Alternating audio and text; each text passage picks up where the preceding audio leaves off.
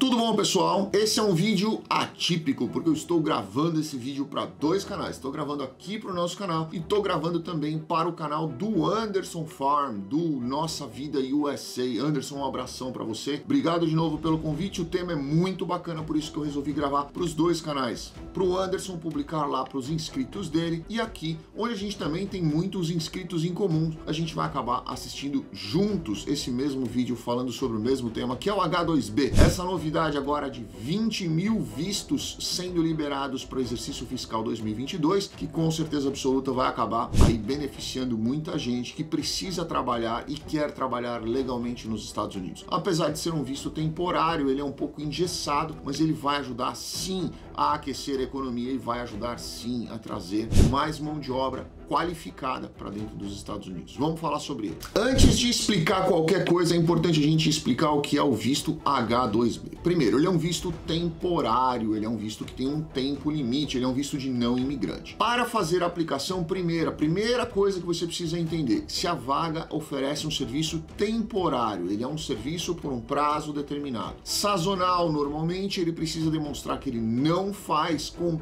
é, competição com o mercado americano, ou seja, ele não vai tirar vagas de americanos, ele vai entrar especificamente para suprir um déficit de vagas e ele vai sim ser concedido para aquelas pessoas que precisam fazer algum tipo de trabalho temporário, sazonal, ou atender uma demanda, ou atender uma fábrica, por exemplo, que tem ali é, uma encomenda internacional gigantesca, uma necessidade nacional de produção de emergência. Esse visto vai entrar ali certinho para fazer o preenchimento daquele tipo de vaga. Ele é um visto de processamento razoavelmente rápido e ele é um visto que, que ele depende aí da, da de alguns critérios que eu vou explicar para vocês durante o vídeo, mas o principal critério é a questão do sorteio, né? Existem, pode ter aí 66 mil vagas, mais essas 20 mil agora, mas se forem protocolados 200 mil processos, a gente vai cair num processo de sorteio que a gente acaba ficando meio refém dessa situação. É uma coisa que eu não gosto gosto muito do H, mas ele funciona super bem.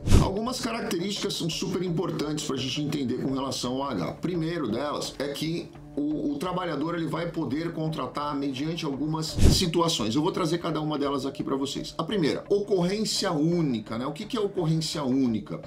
Aquela vaga específica, ela vai servir para suprir uma necessidade única, momentânea e que o, aquele empregador não tenha contratado um trabalhador americano ou legal dentro do mercado americano no passado e nem vai precisar contratar um alguém em tempo integral por longo período, o período indeterminado determinado no futuro. Então ele precisa demonstrar isso e aquela vaga precisa estar descrita desta forma. Outra questão é a vaga ser, o trabalho ser sazonal. Aquele trabalho ele vai acontecer durante um período do ano, numa determinada situação e ela não vai ter uma continuidade depois daquele tempo. Ou se ela for ter uma continuidade, ela vai ter uma continuidade só daqui um, um outro período. Então quer dizer, é a sazonalidade, né? A gente vai olhar, ah, são trabalhos que ocorrem especificamente dois meses em cada ano é, direcionados para a época do verão, ou para a época do inverno, ou para alguma coisa nesse sentido. Então são períodos sazonais, tá? Lembra que esses itens que eu estou falando com vocês é ou,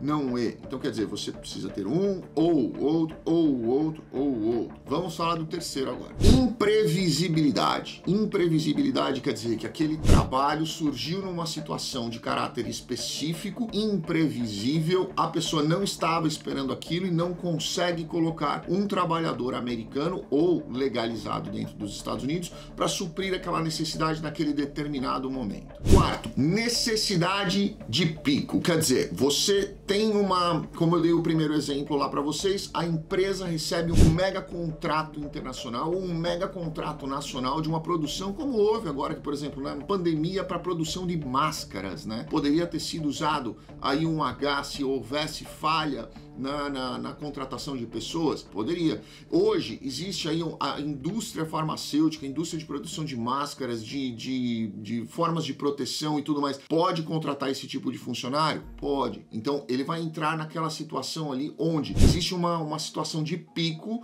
Essa situação de pico ela não vai ser constante daqui a, a um tempo. É, as pessoas não vão precisar mais usar máscara. Quero pedir a Deus que assim seja. É, e aí, a partir desse momento, não há mais a necessidade desses trabalhadores manterem essa produção tão lá em cima. Então, quer dizer, essa é, uma, é um trabalho é, esporádico, atendendo uma situação de pico, um contrato de pico, onde ele vai acabar aquela, aquela situação de, de ascendência na produção, vai voltar ao nível normal, essa pessoa será dispensada. Então aí eles aceitam a, o protocolo de um processo de H2B. E o quinto é a necessidade intermitente. A necessidade intermitente é aquela onde há, ela se confunde muito com a sazonalidade, né? Pelo menos eu enxergo dessa forma pela própria definição legal. É, são trabalhos onde você vai ter por um curto período de tempo a necessidade, depois a interrupção outro período curto de tempo e a interrupção, outro período de tempo e a interrupção. Não cabe ao H2B, mas vamos dar um exemplo para vocês entenderem na cabeça de vocês como funciona. Colheita de laranja. De novo, vou repetir, não cabe para o H2B, tá? Mas só para vocês entenderem. Ela ocorre num determinado período do ano. Então, aquela é, intermitência poderia ser um trabalho é, considerado um trabalho intermitente, mas não cabe para o H2B, tá? Eu quero deixar claro aqui para vocês, eu usei só como um exemplo, mais um exemplo, porque eu já dei outros exemplos lá atrás. Outra coisa importante antes de nós falarmos nessa questão da, dos, das 20 mil novas vagas é entender que existe uma, uma cota, né? Existe um cap para o H2B anual, que são 66 mil vistos. O próprio site da imigração coloca ali como 66 mil vistos, dividido em dois períodos, abril e outubro. Você protocola protocolo em abril para começar em outubro, protocolo em outubro para começar em abril. E esses dois, é, esses 66 mil vistos são divididos em dois, duas fases de 33 mil vistos. Caso você não use o, todos os 33 mil na primeira fase do ano, né, do, do, do, exercício fiscal, caso você não use o, o sobrante, né, o que sobrou daquilo, vai para a segunda fase. Mas se você não usa algum visto desses ou sobram alguns vistos no exercício fiscal inteiro, acabou, morreu aí, ele não vai para o exercício fiscal é, seguinte. Então, essa é uma peculiaridade do, do H2B. Outra coisa, agora foram concedidos 20 mil novos novos postos, né? Inclusive o Maiorca falou sobre isso, isso foi noticiado bastante, isso vai ajudar bastante nessas categorias que eu expliquei para vocês do H2B.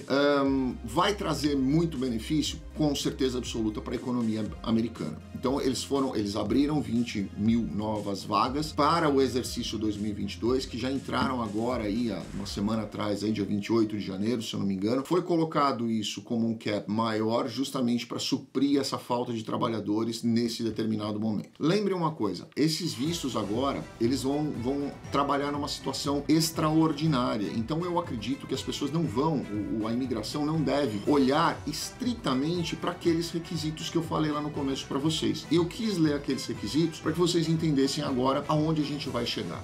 Hoje existem vários, vários postos de trabalhos que não são caracterizados sazonais e que eu acredito que eles devem abrir o H2B para eles. Não existe é, trabalhador no mercado americano. Nós estamos vendo aí um déficit gigantesco dentro do trabalho americano. Eu falei num vídeo atrás para vocês que eu enxergo que em, num período médio de tempo, não curto, mas médio, longo talvez, muitos desses americanos que hoje não querem trabalhar porque eles estão vendendo coisas na Amazon, estão trabalhando de casa, estão recebendo aí, receberam aí é, auxílio governamental. Então eles chegaram num, numa zona de conforto que para eles eles não querem sair. Né? Eles estão ganhando talvez a mesma coisa, às vezes até um pouco mais, fazendo vendas na Amazon, é, comprando e revendendo. Então eles estão trabalhando nesse, nesse mercado informal. Mas esse mercado informal para o país ele é muito ruim, porque a captação de impostos a gente sabe que não é a mesma, né? A forma de controle de impostos nesse, nesse tipo de trabalho, ela não é a mesma de você de repente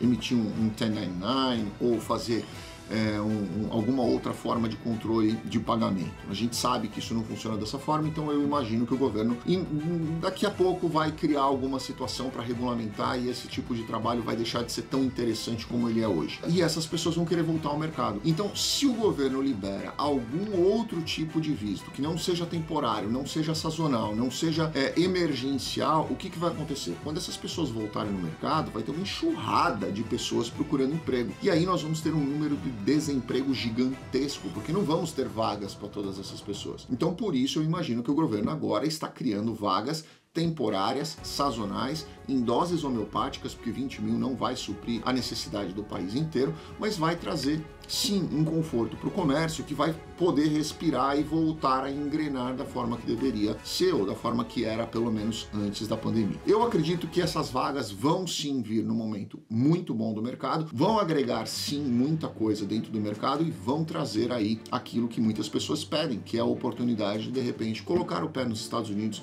e começar uma vida aí migratória com segurança, com certezas, com, com solidez e da forma regular que deveria ser feito. Fica esse vídeo aí para vocês então, espero que tenha trazido aí para vocês uma série de, de informações novas. H não é um visto que eu trabalho, não é um visto que eu faço, eu costumo mandar aqui para um dos meus sócios para a gente tocar isso daí, então não é um visto meu, não é um visto que eu domino, não falo com a mesma facilidade que eu falo de um E2, de um L, de um EB2, de um EB3, de um EB1, de um EB5, como eu disse para vocês, especialista em tudo é na verdade um especialista em nada, então eu foco naquilo que é a minha área de trabalho trabalho e o resto eu simplesmente comento mediante relatórios que eles fazem para mim, para que eu possa entender melhor é, dentro daquela noção que a gente tenta passar para vocês. Grande abraço, fiquem com Deus, obrigado. Se Deus quiser, daqui a pouco a voz volta ao normal e a gente volta a gravar mais vídeos com frequência. Obrigado.